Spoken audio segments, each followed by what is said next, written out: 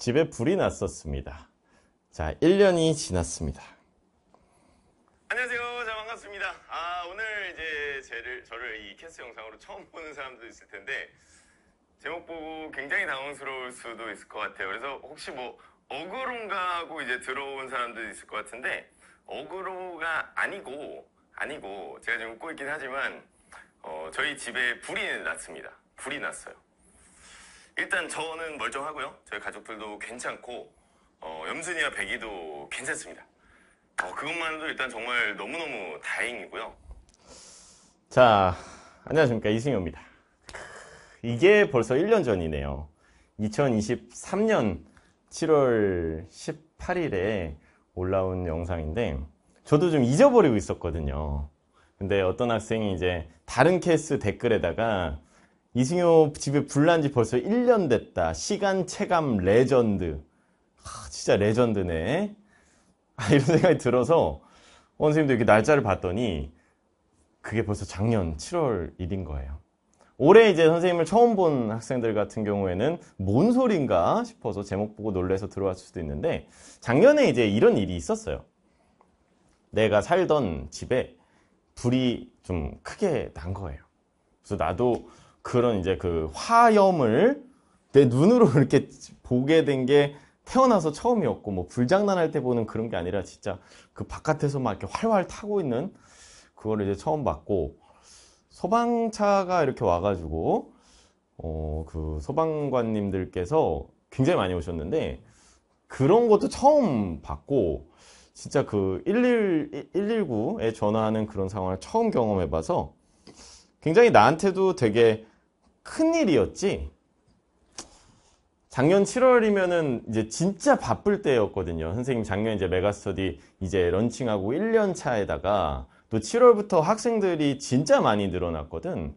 그래서 막 매일 막 상담 같은 것도 정말 많이 오고 뭐 수업도 매일 촬영하고 이러면서 진짜 바쁜 시기였는데 그런 일이 딱 벌어졌어요.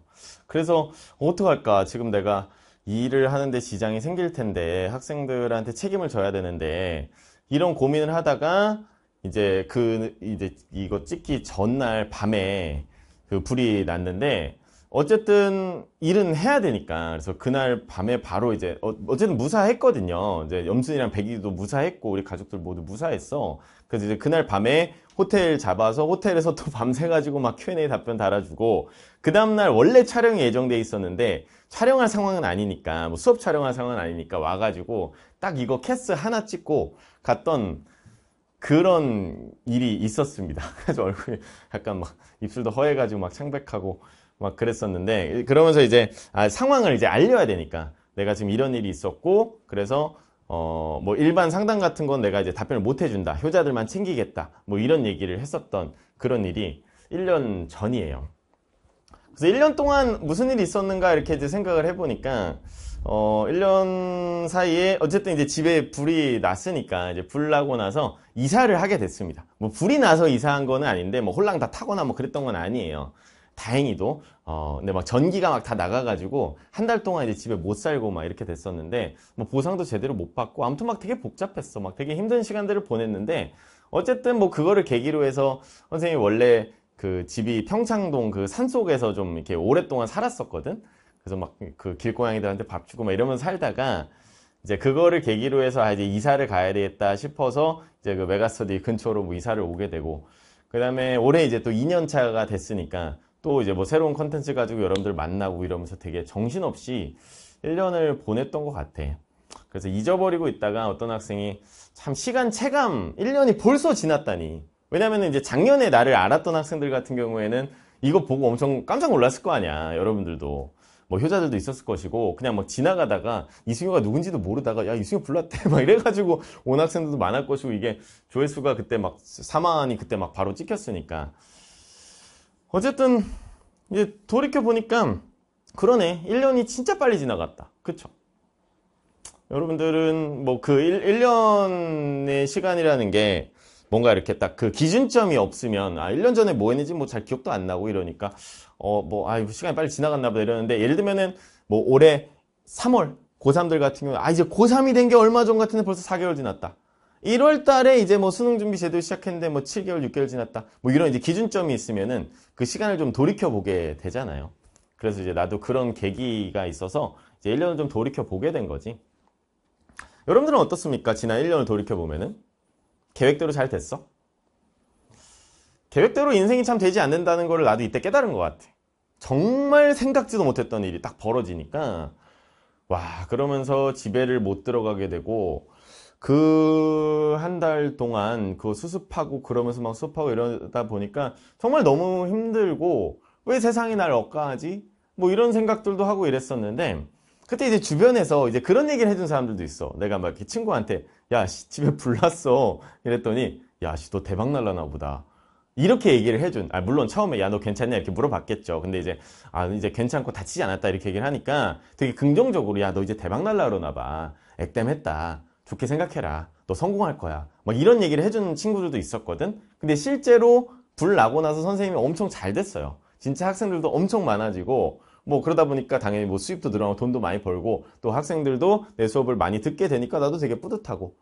근데 이제 그 힘든 시기에서 나도 막 좌절하고 막 아 인강 접을까 막 접어야 되나 막 이런 생각도 했지 했지만은 그렇게 이제 주변에서 긍정적으로 말을 해주는 해줬던 사람들이나 이제 가족들이 있어서 나도 힘을 냈던 것 같고 그 이 사건 이후에 내가 더 잘 될 수가 있었던 게 그냥 내가 움츠러들고 아씨 뭐 어쩔 수 없으니까 그냥 뭐 이 정도만 하자 이렇게 한 게 아니라 오히려 더 공격적으로 컨텐츠를 만들기 시작했어요.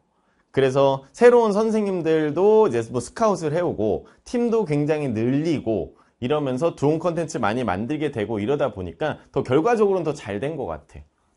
그래서 이제 요새 그 선생님하고 같이 팀 하는 선생님들 중에서 그, 그 시기에 내가 이제 연락해가지고 막 만나거나 이제 새롭게 채용을 하고 이랬던 선생님들도 계시거든요. 아마 여러분들도 이제 뭐 1년 전 이렇게 돌이켜보면, 뭐 몇 달 전 이렇게 돌이켜보면, 진짜 막 너무 괴로웠다 이런 순간들 있었을 것 같아요. 근데 1년 정도 지나고 나면 어때? 그거 다 잊어버리지, 그치? 어, 다 잊어버려요. 그리고 나서 뭐 그런 일이 있었나 싶은 뭐 그렇게 생각이 들기도 한단 말이야. 지금 이제 여러분들이 만약에 지금이 정말 너무 힘들고 너무 최악이고 세상이 나를 왜 이렇게 억까하지? 뭐 이런 생각이 들 수가 있어. 근데 지금 이것도 1년 지나고 나서 보면 지금 이 순간도 그냥 추억이 돼버리고 아 맞아 그런 일이 있었구나 나는 지금 이렇게 잘 지내고 있는데 1년 전엔 진짜 내가 너무 죽을 것 같았다 이런 순간이 될 수도 있어요 그러니까 지금 여러분들 많이 힘들 거 아니야 그치? 근데 여러분들 이제 수능 잘 봐서 대학 잘 가고 내년 7월이 되면 지금 이 시점 뭐 생각이나 나겠어? 생각하고 싶지도 않겠지? 그치? 그치? 물론 이제 내년에도 또 수능을 보게 된다면은 아씨 또 아직 또또 아직 또 7월이야 뭐 이럴 수 있겠지만 어 이번에 이제 열심히 해가지고 그러니까 수능 잘 봐야 돼. 그래서 여러분들 이제 대학교 가서 여름 방학 때 얼마나 즐겁겠니? 중간고사 기말고사 다 끝나고 1학기 끝났고 너무 좋을 거 아니에요. 그런 날이 온다고요. 그런 날이 온다는 걸 믿으시고 지금이 여러분들이 힘든 상황이라면 그 힘든 상황이 여러분들을 더 잘 되게 만드는 성공하게 만드는 그런 밑거름이 되고 발판이 될 거다. 라고 생각해 주세요. 그렇게 여러분들이 스스로 믿고 긍정적으로 생각해야만 그 힘든 시기를 잘 넘겨서 진짜 잘 될 수가 있는 것 같아. 사람 마음에 달린 것 같아.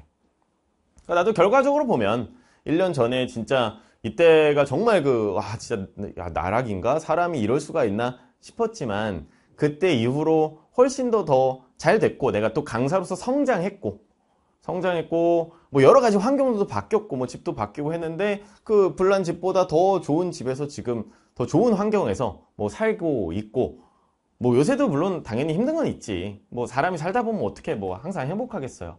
뭐 나도 뭐 쫄리기도 하고 뭐 육체적으로든 정신적으로든 막 힘들기도 하지만 그래도 작년보다는 더 나은 사람이 됐고 내가 더 발전을 했단 말이지.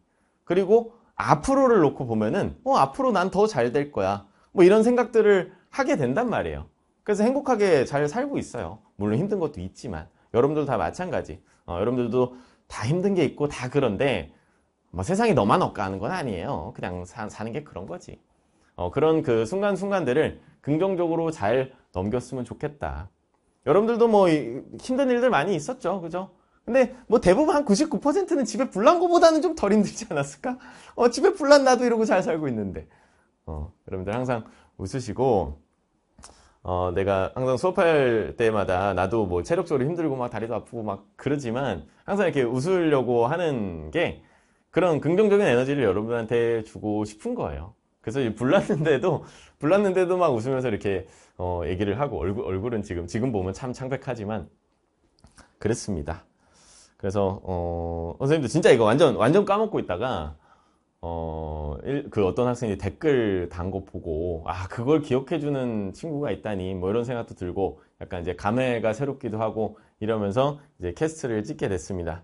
자, 여러분들 힘내시고, 결론은 그거야. 지금이 나락이라고 생각이 들더라도, 나중에는 여러분들은 분명히 멋지고, 지금보다 훨씬 더 낫고, 행복한 순간들이 찾아올 거다. 그때까지 잘 버티셨으면 좋겠고요. 지금 이제 여름이 너무너무너무 중요한 순간이잖아요. 여러분들, 1년 뒤에도 지금 이 캐스를 찾아보고 있게 되면 안 된다고.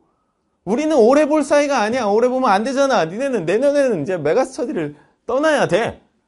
그죠? 인정? 그러려면, 그러려면, 아, 작년에, 작년에 효자였는데 지금 이거 보고 있는데, 아이씨, 1년 더 하고 있는데, 이런 사람들, 미안해. 그렇지만 뭐 사람이 살다 보면 그럴 수도 있는 건데, 올해 끝내면 되는 거지. 이제 내년에 대학 가시면 되는 거고, 어쨌든 내년에 잘 되려면, 지금 힘들더라도 포기하지 말고, 적당히 하지 마시고, 정말 한 달이라도 두 달이라도 미쳐서, 미친놈처럼, 후회 없이 끝장을 본다라고 생각을 하고 하셔야 여러분들 내년에 좋은 결과가 있겠죠. 그래서 행복한 여름을 보낼 수가 있겠지. 그 생각해라, 진짜. 지금 힘들다고 그거 지금, 아씨, 그냥 집에 갈까? 잠이나 잘까? 이런 생각했다가 여러분들 내년에 더 힘들면 안 되잖아. 무슨 말인지 알겠어요? 열심히 해, 열심히 해. 힘내고 파이팅 하고. 아시겠습니까? 자, 또 수업과 다음 캐스에서 만나 뵙겠습니다. 바이바이.